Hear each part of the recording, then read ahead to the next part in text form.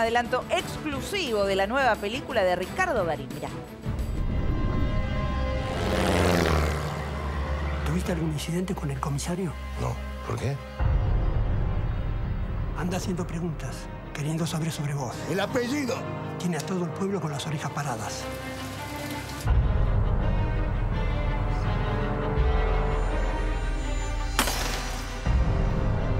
Vine porque hay un milico que anda merodeando mi zona. Se apellida Koblik. ¿Vino a instalarse por acá? Es muy peligroso para mí quedarme acá. Sos un buen tipo, polaco. ¿Tuviste algún Koblik, ese es el título de este nuevo film que reúne al actor con Sebastián Borenstein, que es el director de un cuento chino. Está rodada en la provincia de Buenos Aires y también en la ciudad de Madrid. Y el film transcurre en los 70 y narra la historia de un capitán de la Armada que se tiene que esconder en un pequeño pueblo.